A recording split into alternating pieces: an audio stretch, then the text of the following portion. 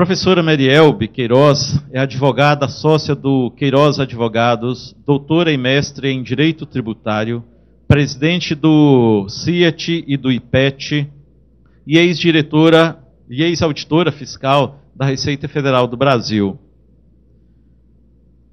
Marielbe Queiroz é doutora em Direito Tributário pela PUC São Paulo e mestre em Direito Público pela Universidade Federal de Pernambuco. Pós-graduação na Espanha e Argentina. Professora do programa de doutorado e mestrado da Universidade Federal de Pernambuco e dos cursos de pós-graduação da PUC Cogeai São Paulo, IBET São Paulo, Universidade Federal da Bahia, IDP Brasília, presidente do Instituto Pernambucano de Estudos Tributários IPET, presidente do Centro de Estudos Avançados de Direito Tributário e Finanças Públicas do Brasil, CIET Brasil.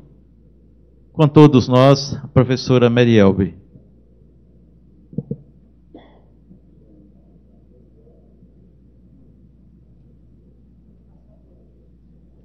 Boa tarde a todos.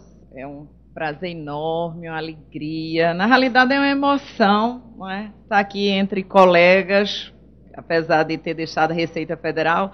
Eu digo sempre que Receita Federal é igual a marido do ruim, né? A gente reclama, reclama, mas não quer deixar de jeito nenhum.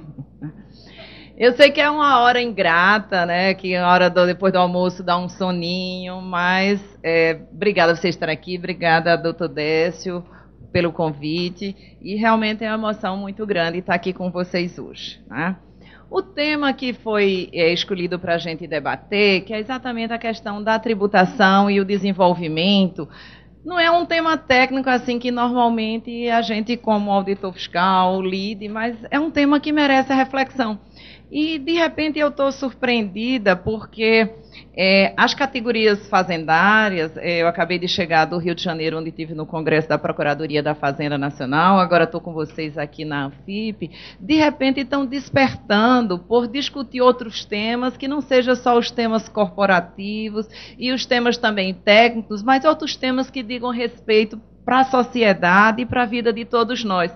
Então, isso é muito bom a partir do momento que você abre um leque de alternativas, de pensamentos, para você é, contribuir não só para a arrecadação, como para o aperfeiçoamento do nosso sistema tributário e indiretamente para o aumento da arrecadação. Então, é uma coisa muito importante a gente refletir. O que eu vou mostrar para vocês é exatamente um panorama do que é essa nossa tributação e vocês vão descobrir que, na realidade, nós, assalariados e consumidores, quem pagamos mais. E quanto mais baixa renda, mais pagamos em termos de tributos por conta da sistemática de tributação nossa aqui no Brasil. Então, é algo que merece realmente a gente pensar de como aperfeiçoar a qualidade dessa tributação.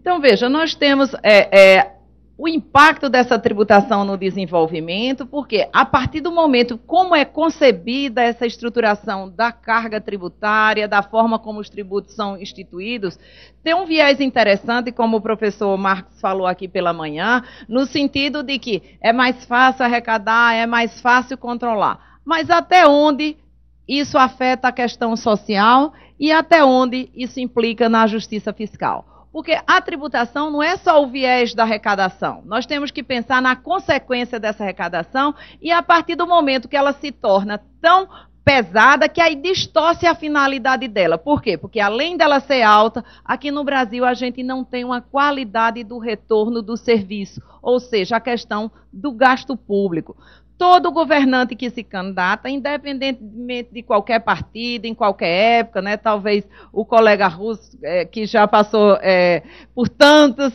tantos anos, né? Que, caí para trás, ele disse que tem 86 anos. Há quem acredita no negócio desse, né? Então, veja só. Todo mundo fala que vai fazer reforma tributária, ninguém faz, todo mundo remenda, não simplifica, não melhora a qualidade do nosso tributo e depois você não recebe o retorno. E a cada novo governo pensa-se numa reforma tributária. Temos remendos, remendos mal feitos. Por que a questão da reforma tributária impacta? Exatamente porque do lado da fazenda, dos governos, porque a gente confunde muito Receita Federal. Não, é governo. Então o que acontece? O governo quer arrecadar mais estadual, federal, municipal. Do lado do contribuinte, ele pensa como vai simplificar e como vou pagar menos. Então, não fecha esse equilíbrio do discurso.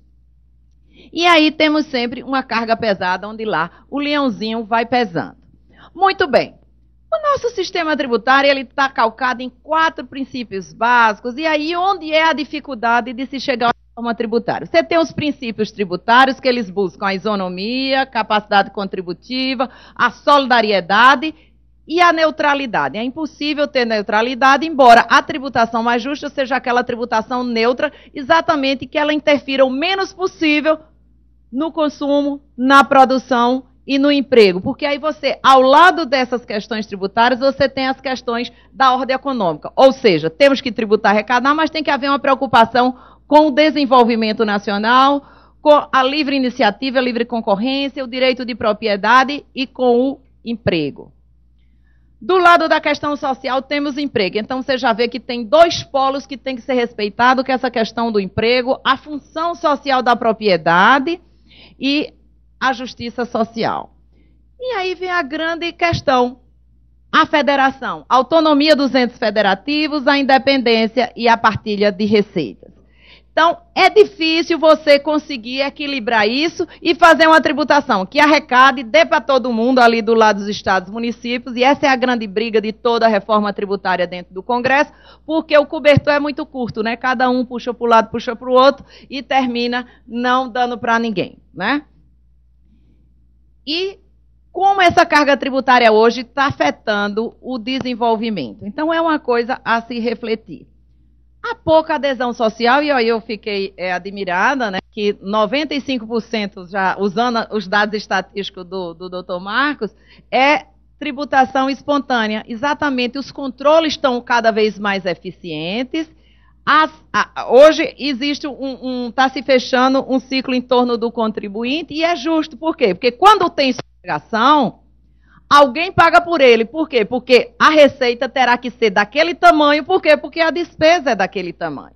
Então, por que temos uma, uma necessidade de arrecadar tanto? A ânsia de gastar que gera cada vez mais despesa. Então, só se pensa em gastar mais e estamos gastando mal.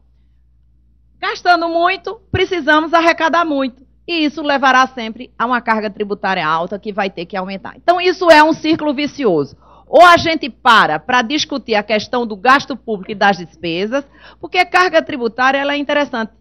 A nossa carga tributária, eu vou mostrar para você em relação aos outros países, ela pode ser alta e pode ser baixa. Por quê? porque ela se torna mais alta ainda porque não temos o retorno através dos serviços públicos. Ou seja, há uma fome insaciável do leão de arrecadar.